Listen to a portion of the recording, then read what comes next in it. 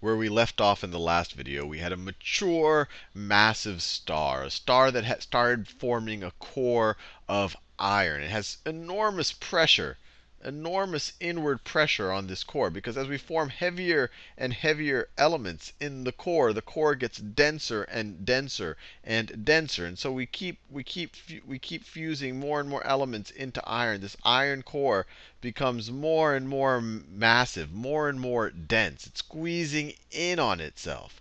And so, and, and it's it's not fusing. That is not exothermic anymore. If iron were to fuse, it would not even be an exothermic process. It would require energy. So it wouldn't be even something that could be helped to fend off this squeezing, to fend off this increasing density of the core. So we have this iron here, and it just gets more and more massive, more and more dense.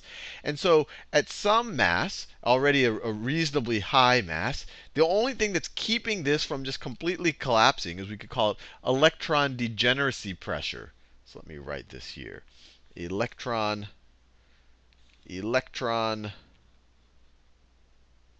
degeneracy pressure.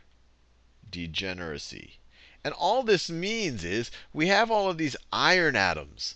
We have all of these iron atoms, you know, getting really, really, really close to each other. And the only thing that keeps it from collapsing at this earlier stage, the only thing that keeps it collapsing altogether is that they have these electrons. You have these electrons, and these are being squeezed together now. I mean, we're talking about uh, unbelievably unbelievably dense states of matter. And electron degeneracy pressure is essentially what it, it, it, it it's saying these electrons don't want to be in the same place at the same time. I won't go into the quantum mechanics of it, but they, they cannot be squeezed into each other anymore. So that, at least temporarily, holds this thing, holds this thing from keep from collapsing even further. And in the case of a less massive star, in the case of a white dwarf, that that's how a white dwarf actually maintains its shape because of the electron degeneracy pressure. But as as this iron core gets even more massive, more dense, and we get more and more gravitational pressure, so this is our core now. Even more gravitational pressure. Eventually, even this electron degeneracy I guess we could call it force or pressure, this outward pressure, this thing that keeps it from collapsing. Even that gives in. Even that gives in. And then we have something called electron capture. Electron capture, which is essentially which is essentially the electrons get captured by protons in the nucleus. They start collapsing into the nucleuses. It's kind of the, the it's kind of the opposite of beta neg of, of beta negative decay, where you have the electrons get captured, protons get turned into neutrons, you have neutrinos being released. But you can imagine an enormous amount of energy is also being released. So this is kind of a temporary, and then all of a sudden this collapses. This collapses even more until all you have and all the protons are turning into neutrons because they're capturing electrons. So then you what you eventually have is this entire core is collapsing into a dense ball of neutrons. So dense, dense neutrons. You can you can kind of view them as just one really, really, really, really, really massive atom because it's just a dense ball of neutrons. And at the same time, when this collapse happens, when this collapse happens, you have an an enormous amount of energy being released in the form of in the form of neutrinos. In the form of neutrinos. Did I say that neutrons are being released? No, no, no. The electrons are being captured by the protons, protons turning into neutrons, this dense ball of neutrons right here. And in the process, neutrinos get released, these fundamental particles. We won't go into the details here, but it's an enormous amount of energy enormous amount of energy. And this actually is not really, really well understood of all of the dynamics here, because at the same time that this iron core is undergoing through this, you know, at first it kind of pauses due to, due to the electron degeneracy pressure, and then it finally gives in because it's so massive, and then it collapses and into the, this dense ball of neutrons. But when it does it, all of this energy is removed. And it's not clear how, because it has to be a lot of energy. Because remember, this is a massive star, so you have a lot of mass in this area over here. But it's so much energy that it causes the rest of the star to explode outward. Causes the rest of the star to explode outward in an unbelievable, in an unbelievable, I guess, unbelievably bright or energetic explosion. And that's called a supernova. That's called a supernova. super supernova. And the reason why it's called nova, it comes from, I believe, I'm not an expert here, Latin for new. And the first time people observed a nova, they thought it was a new star because all of a sudden, something they didn't see before, all of a sudden it looks like a star appeared because maybe it wasn't bright enough for us to observe it before. But then when it when the nova occurred, it did become bright enough. So it came, comes from the idea of new.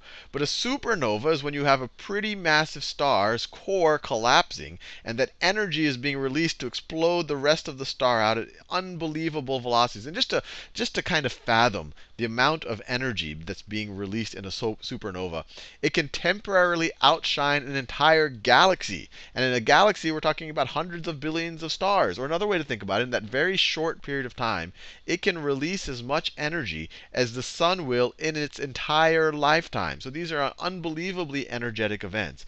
And so you actually have the material on the from that's not in the core being shot out of the star at, at appreciable percentages of the actual speed of light. So we're talking about things being shot out at, you know, up to 10%, 10% the speed of light. 10% the speed of light. Now that's 30,000 kilometers per second. That's almost circumnavigating the Earth every second. So that's, I mean, these, this is un unbelievably energetic events that we're talking about here. And so if the star, if the original star was, and these are rough estimates, people don't have kind of a hard limit here. If the original star, original star, if the original star was 9 is 9 to 20, I'd say approximately 9 to 20 the times the mass of the sun, then it will supernova, and the core will turn into what's called a neutron star.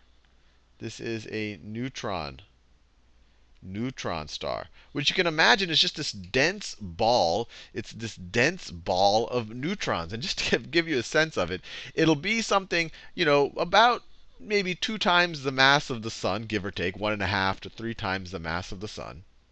So this is one and a half to three times the mass the mass of the sun in in a volume that has a diameter of about, you know, on the order of tens of kilometers.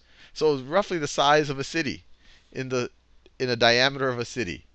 So this is unbelievably dense diameter of a city. I mean, we know how much larger the sun is relative to the Earth, and we know how much larger the Earth is relative to a city. But this is this, the, something large, more mass than the sun being squeezed into the density or into the size of city. So unbelievably dense. Now, if the if the original star is even more massive, if it's more than 20 times the sun, so let me write it over here. Let me scroll up.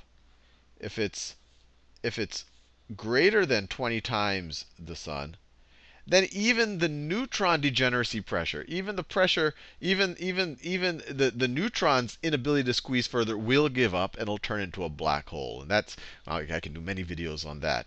And that's actually an open area of research still on exactly what's going on inside of a black hole. But then you turn to a black hole where essentially all of the mass gets condensed into an infinitely small and dense point. So something unbelievably hard to imagine. And just to give you a sense of it, so this, this will be more mass than even three times the mass of the sun. So we're talking about an incredibly high amount of mass. So let's just to kind of visualize things. Here's actually a remnant of a supernova. This is the Crab Nebula. This is right here is the Crab Nebula.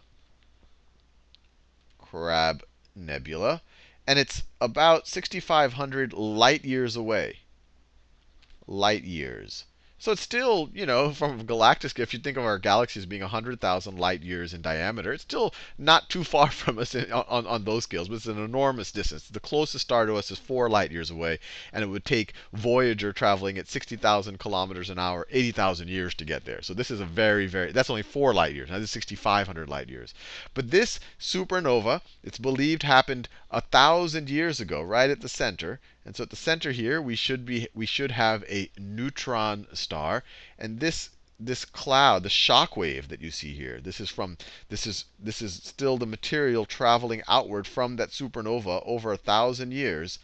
This this shock wave, or the, the diameter of the sphere of material, is six light years.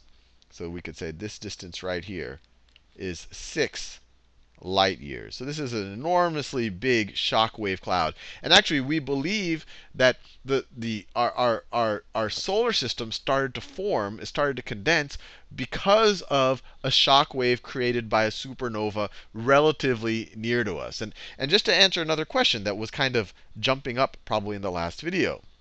And this is still not really, really well understood. We talk about how Uh, elements up to iron or maybe nickel can be formed inside of the cores of massive stars.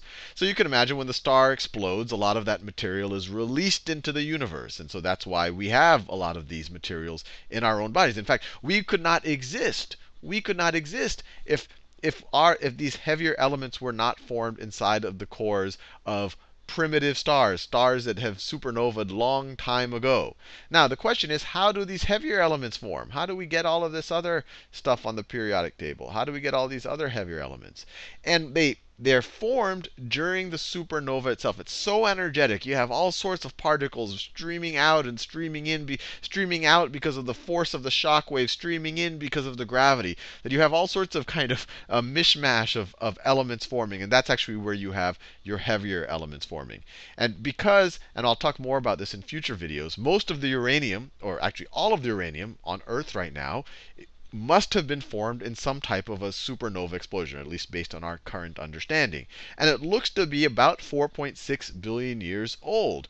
So given that it looks to be about 4.6 billion years old based on how fast it's decayed, and I'll do a whole video on that, that's why we think that Earth that Earth was probably that, that our solar system was first formed from some type of supernova explosion, because that that that uranium would have been formed right at about the birth of our solar system. Anyway, hopefully you found that interesting. This is a fascinating picture, and if you go to Wikipedia and look up the Crab Nebula, keep clicking on the image, and eventually you'll get a zoomed in picture, and that's just kind of even more mind blowing because you can see all the intricacy in this actual photo.